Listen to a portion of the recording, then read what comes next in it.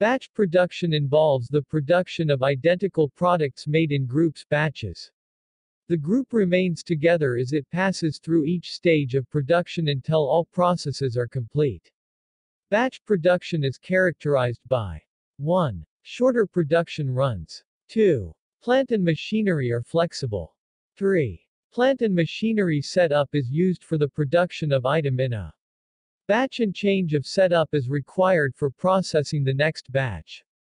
4. Manufacturing lead time and cost are lower as compared to job order production. Advantages of batch production. 1. Better utilization of plant and machinery as it is cheaper to produce a whole batch instead of single.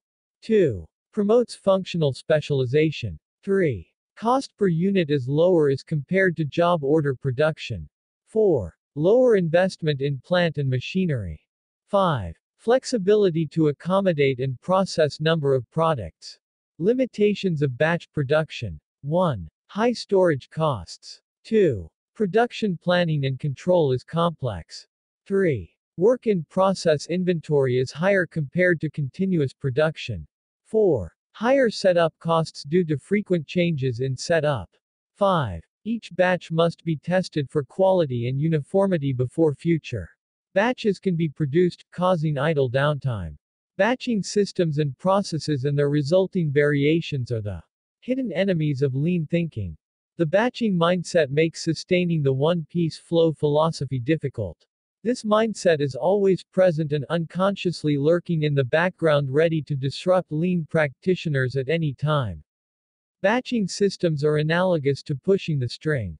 This is because Product is pushed via an MRP system or just introducing many lots of material to the floor, generally scheduled based on parts availability against the customer schedule, which move from work center to work center, are expedited and eventually completed.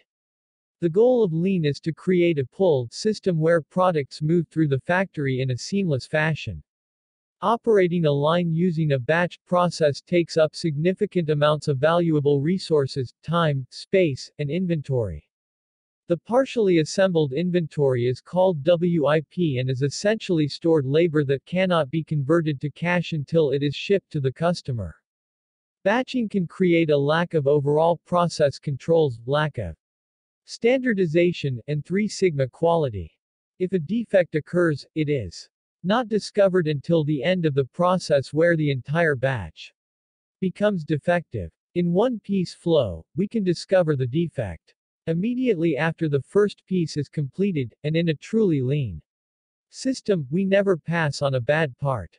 Please like and subscribe my video so that you won't miss out my next video about Lean Six Sigma and Operation Management.